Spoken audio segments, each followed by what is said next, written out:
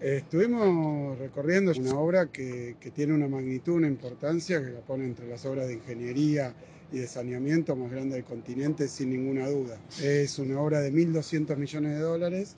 que lo que va a permitir es tratamiento de los residuos cloacales de 4 millones y medio de personas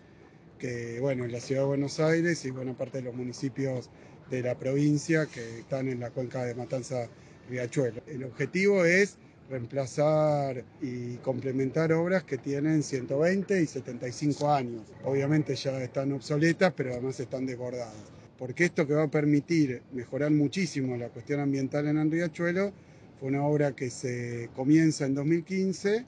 y que obviamente cambio de gobierno, como pasó en toda la provincia de Buenos Aires, este es un caso más, la pararon. Debería esto ser de conocimiento mucho más masivo y público, lo que está haciendo el Estado Nacional, lo que está haciendo AISA, lo que estamos haciendo en conjunto también con la provincia para una obra tan importante y tan extraordinaria. Desde el inicio de la gestión, tanto el ministro Gabriel Catopodis como el presidente de la Nación nos dieron la indicación de primero continuar las obras con fondos del Estado Nacional, luego fuimos a hablar al Banco Mundial, que es quien financia los dos túneles, y entendiendo la importancia de la obra también accedieron a financiar el lote 2, esta planta, y por eso estamos orgullosos de que el año que viene finalmente vamos a terminar esta obra que va a beneficiar, por un lado, a cuatro millones y medio de porteños y bonaerenses y por otro lado con eso vamos a poder sacar un poco del líquido cloacal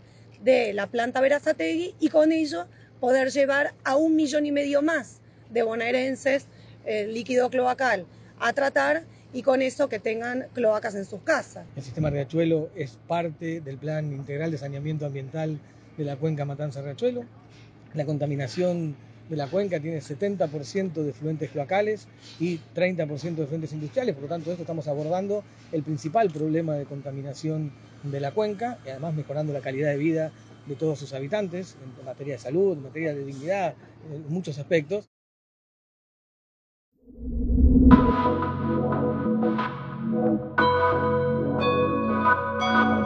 Thank